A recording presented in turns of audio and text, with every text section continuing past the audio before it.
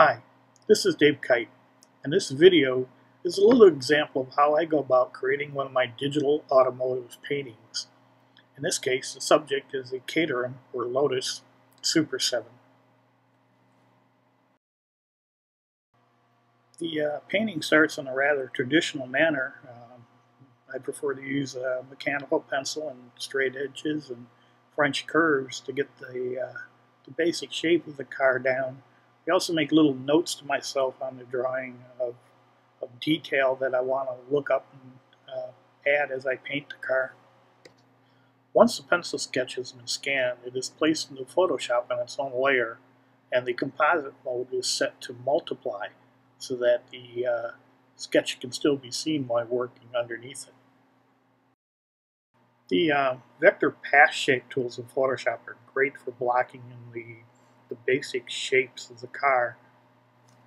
These uh, path shapes will later be combined and rasterized and placed on their own layer so that the actual painting process can be.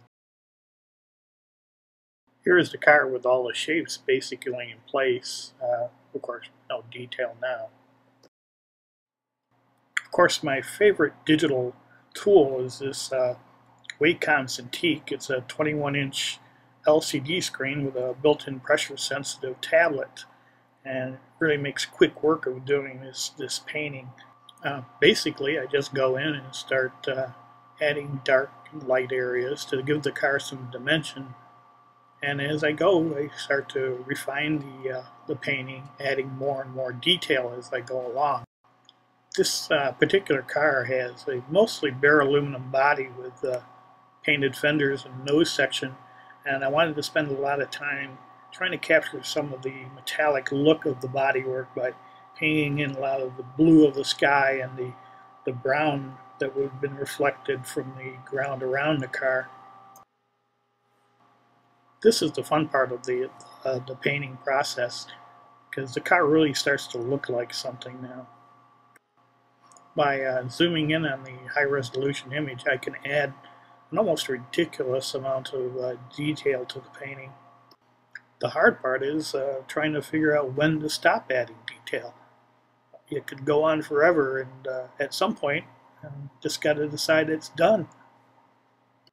Uh, the final thing to do is to add this uh, ground treatment under the car. It actually came from a photograph I'd taken of a manhole cover in some uh, cobblestone streets. I kind of colorized it and textured it and made it look like this.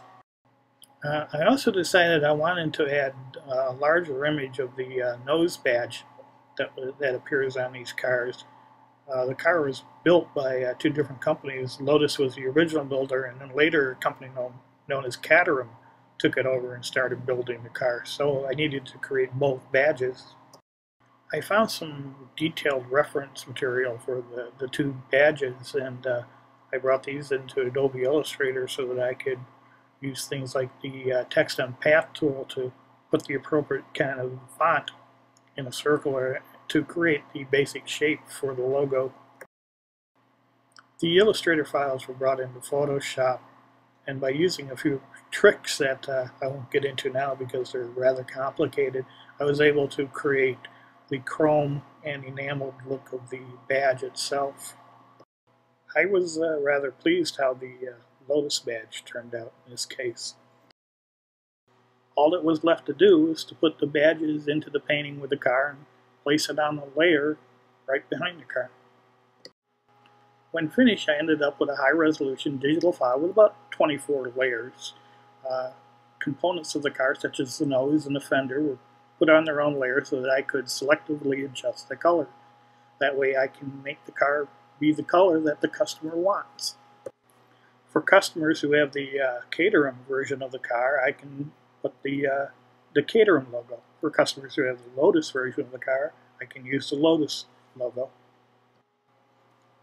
In another case, I was also able to create a different set of wheels, a different style of wheel that was used on these cars at certain times. I also developed a way of uh, colorizing the, the uh, bare aluminum body because these cars at times came with the painted bodywork and even a racing stripe for one customer.